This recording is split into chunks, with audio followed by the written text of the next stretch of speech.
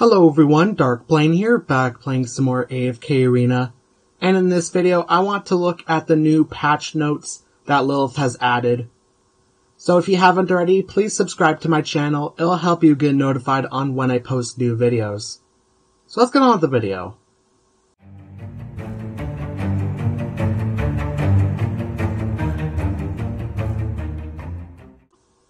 Okay, these are patch notes 1.75 Lilith added these not too long ago, so yeah, I'm getting at these patch notes pretty early here.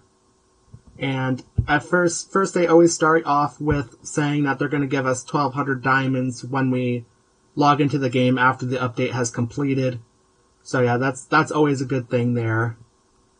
Okay, so I'm going to uh, start with the new heroes here. New celestial hero, Halus the Crafter.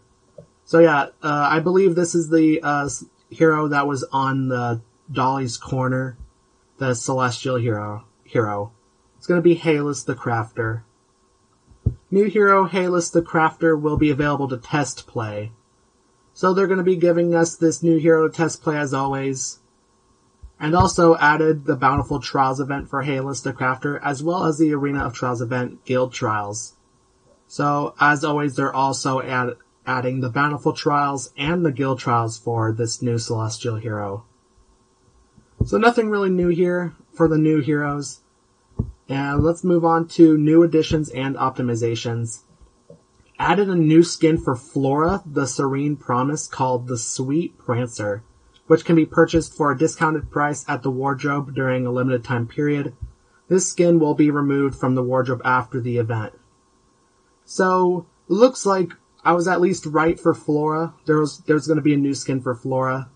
At least I was right about that one. Added a new skin for Thorn, the Fallen King, called Treacherous Tyrant, which can be obtained during the Noctis Animarum event.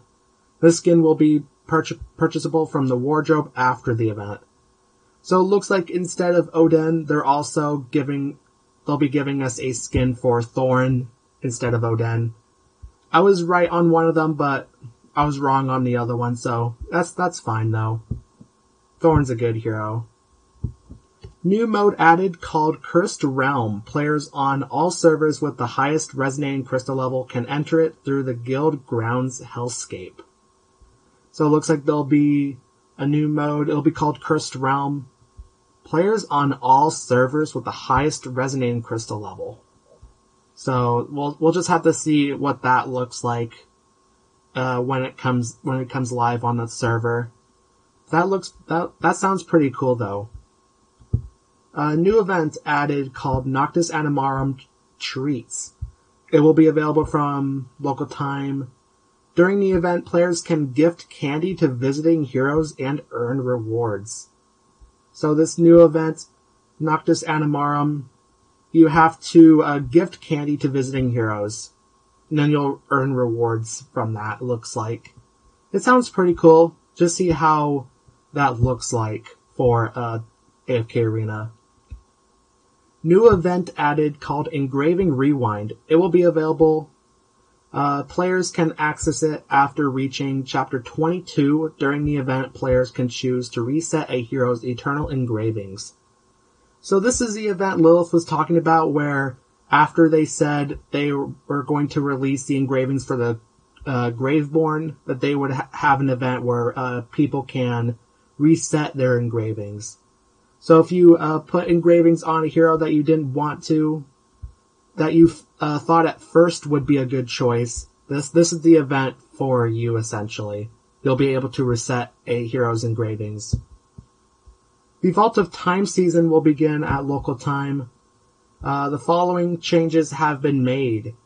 Rankings and militia accolades are available this season. The odds of obtaining militia accolades and the price of purch- purchasable items have been adjusted. Improved uh, starting position logic to prevent situations in which too few players are assigned to a route. The guild in first place will be displayed in Bard Tales and improved the militia honors artistic effects. So it looks like they'll be adding the Vault of Time here, which means there's going to be another uh, Abyssal Expedition. This time, this one is not going to be a beta version like the last one was. This one is going to be the real deal. So you'll be in rankings and militia accolades as well. So yeah, this this is the real deal. This is the uh, real deal after the beta that they had a couple months ago. The Abyssal Aid event begins on local time.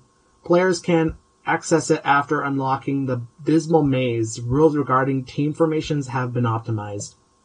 So it looks like they'll be uh, bringing the Abyssal Aid uh, back. I believe they had this event before. So I believe they're bringing the Abyssal Aid back to AFK Arena. So yeah, we'll just see how that how that event looks like again. Added the adventure The Road Home to the Voyage of Wonders feature. So as always, they'll be adding another Voyage of Wonders. This one is called The Road Home. Added Cinder Grottos to the Wandering Balloon, which can be unlocked by completing stage 29-20 of the campaign and by completing 60% of the Wandering Balloon. So it looks like they're adding Cinder Grottos to the Voyage of Wonder, or the Wandering Balloon. Adding Cinder Grottos to the Wandering Balloon. Players can now climb up to 690 floors within each of the four faction towers simultaneously. The difficulty of some floors between 630 and 660 have also been reduced. So they're just pretty much adding new floors to the four faction towers, which is always cool. Reduce the difficulty of certain floors between 1100 and 1150 of the King's Tower and also added more floors, bringing the total number of floors to 1200. So it looks like also they'll be adding more floors to the King's Tower. Reduce the difficulty of certain floors between 420 and 440 of the Infernal Fortress and Celestial Sanctum, and also added more floors, bringing the total number of floors to 460 for both towers. So just like the other floor, other towers, they're going to be adding more floors to the Graveborn and Celestial, or Hypogean and Celestial Towers as well. We have 460 floors for both of them. A newly added Climbers Pack can be unlocked by passing the 220th floor of the King's Tower. After purchasing, you will receive a large amount of diamonds after passing the specified number of floors in the King's Tower. So it looks like they're going to be adding a, a pay to win pack here. It's going to be connected to the King's Tower. You'll be given a lot of diamonds. It sounds sounds uh, first thoughts. It sounds pretty similar to the uh, advancement rewards. Uh, new addition to Heroes for Hire: The Prince of Persia, Kings of King of Blades, is now available. So it looks like they're going to be adding Prince of Persia to the Heroes for Hire, which is really good. There, that's really good. People can now get uh, Prince of Persia. Okay, so now we're going to move on to the hero adjustments and changes, starting with Mishka, the Wild Child. Fix the performance issues with her ultimate ability is used in certain circumstances. The actual combat effect remains unchanged. So they're just fixing some performance issues with Mishka here. We'll see how well she, see how well this, uh, fix goes and fix the issue in which some heroes were incorrectly identified as shielded in certain circumstances. So there's another fix. This is a fix to all uh, all heroes who had this. So they're not specifying which hero specifically, but there's so it sounds like there were quite a few heroes that had this bug. But it's good that they're fixing this here. And that's pretty much uh, patch notes 1.75 some things I'm looking forward to are uh, the new events, uh, the Voyage of Wonders, the Wandering Balloon. Looking forward to those as well. Looking forward to the Abyssal Expedition. See how that one. See how well I do in that one. Yeah, and engraving rewind sounds really cool as well. And yeah, that and also the new skins for the heroes sound really cool as well. So if you haven't already, please subscribe, like, and comment anything you want to see me do in AFK Arena, and I might do it in the future. And also, thank you guys for watching.